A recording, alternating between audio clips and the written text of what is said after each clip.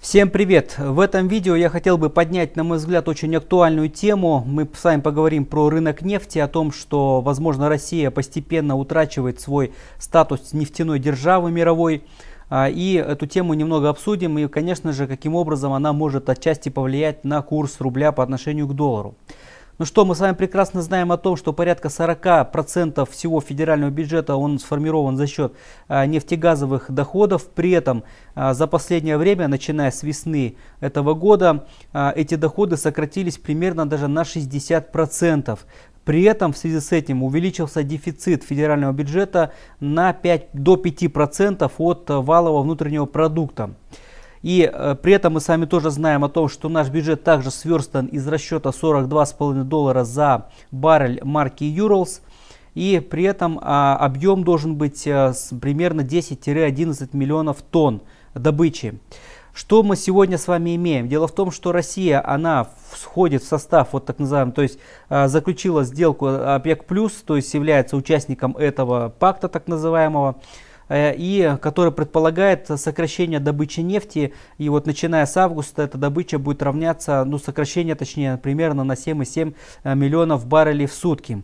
И тогда, когда Россия подписала это соглашение, то есть э, приняла на себя обязательство сократить объемы добычи нефти, то нефть тогда стоила уже 30 долларов за баррель. То есть мы уже практически э, сразу уже начали терять э, в нефтегазовых доходах, то есть упала цена нефти ниже 42,5 долларов за баррель, плюс мы взяли на себя обязательство сокращать на 2,5 миллиона баррелей в сутки а, ближайшие два месяца после подписания этого соглашения.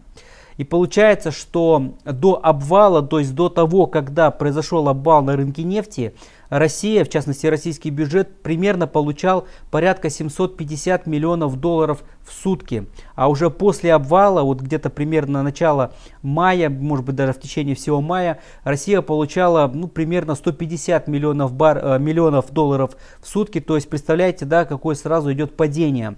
Но на момент уже примерно конец июня месяца Россия все-таки немножечко поднялась э, вот в этой части, то есть сегодня бюджет получает примерно 300 миллионов долларов в сутки, но это тем не менее все равно практически в половину меньше того, э, сколько Россия имела до вот этого вот обвала, до этого кризиса. Собственно говоря, э, к чему это все ведет?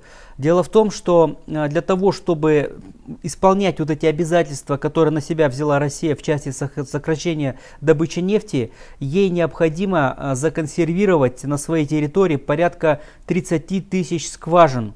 А, при этом вот эти скважины, о которых идет речь, они, конечно же, находятся в достаточно таких а, в суровых климатических условиях, и себестоимость добычи нефти, конечно же, на порядок отличается от себестоимости, например, добычи в той же Саудовской Аравии. Это первый момент. И второй момент – что даже если э, эта скважина не будет работать какое-то время, да, например, несколько месяцев, она будет просто простаивать, да, то есть в состоянии э, такого покоя находиться, то э, есть э, такие достаточно серьезные риски, что эта скважина просто-напросто уже больше никогда не будет давать нефть, или, например, даже будет давать нефть, но она потребует э, дополнительного оборудования, более технологичного оборудования, может быть даже больше инвестиций для того, чтобы эта скважина продолжила свою работу.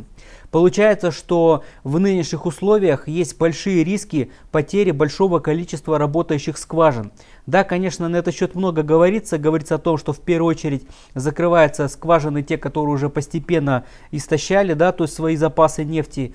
Но в любом случае при падении а, вот этой вот доходности, доходной части от нефтегазовых вот этих вот доходов, то есть от реализации нефти, потому что мы стали ее меньше продавать, меньше добывать, а, конечно же падает а, и в инвестиции в эту отрасль. То есть для того, чтобы дальше поддерживать работоспособность а, этой отрасли, то есть открывать новые месторождения, а, может быть открывать, запускать в работу новые скважины, снижать себестоимость э, добычи этой нефти. Для всего этого требуется новое высокотехнологичное оборудование. И мы с вами прекрасно понимаем, что Россия продолжает находиться еще в санкционном режиме, то есть российские нефтяные компании напрямую не могут воспользоваться западными какими-то высокотехнологичными технологичным оборудованием для того, чтобы раз, проводить разведку, может быть, открывать новые месторождения, эффективно добывать нефть.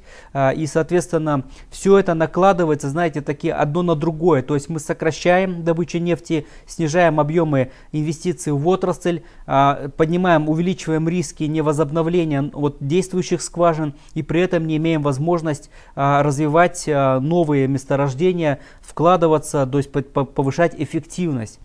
И э, в заключение хотелось бы сказать, что само Министерство энергетики уже сделало свой прогноз о том, что э, к 2025 году в целом а, может а, серьезно упасть добыча нефти, причем это будет не искусственным образом сделано, как это сейчас происходит, а это уже будет чисто технологически, да, потому что Россия из-за тех вышеуказанных проблем, о которых мы только что с вами обсудили, она не может больше добывать нефти, потому что вот эти скважины, они просто-напросто перестанут существовать как таковые. Но и еще такая мысль, а, дело в том, что все равно рано или поздно вот эта пандемия, которая сейчас накрыла весь мир, рано или поздно, конечно же, она постепенно отойдет, а, постепенно начнется восстанавливаться спрос на нефть. Да, тут много разговоров ходят относительно того, что а, нефть постепенно будет, а, постепенно, скажем так, уходить в прошлое и на место нефти будет альтернативная энергетика. Но мы сейчас не будем забегать вперед, все равно спрос на нефть, вероятно, будет еще расти. Причем он будет расти как со стороны Китая, он будет расти со стороны в целом ряда азиатских стран. Он также будет расти спрос со стороны африканских стран. То есть там, где эта нефть, конечно же, еще имеет а, главенствующее свое положение да, в экономике, но и, безусловно, э, это все подстегнет э, к увеличению спроса в целом, и, соответственно, потребуется больше добычи, да, вот этой нефти, большего предложения. И если мы с вами сейчас сопоставим вот эту проблему с ОПЕК+, то есть если ОПЕК+, будет в дальнейшем сокращать добычу нефти, и при этом будет снижаться инвестиции в эту отрасль, то настанет какой-то переломный момент, когда спрос в какой-то момент времени будет в моменте превышать предложение. И что как следствие мы с вами можем иметь? Мы с вами можем иметь э, серьезный рост котировок нефти. И даже есть уже такие, знаете, предположения среди экспертов, что нефть может стрельнуть вплоть до 100 долларов за баррель. Э, может быть даже непонятно, что это не в ближайшей перспективе, но в определенную перспективу такие э, ценовые значения они могут быть. И что самое печальное, что вот когда нефть действительно будет активно пользоваться спросом, тогда, когда постепенно начнется оживление, в этот момент российская нефтяная отрасль постепенно, как медленная черепаха, будет восстанавливаться и будет действительно терять свой рынок э, на нефтяном рынке э, в целом, да, на мировом рынке нефти. Вот такая вот, э, вот, на мой взгляд, не очень радужная перспектива. А, но, конечно же, есть разная точка зрения на этот счет. Что вы считаете, а, насколько это все правдоподобно, насколько все это действительно а, может случиться?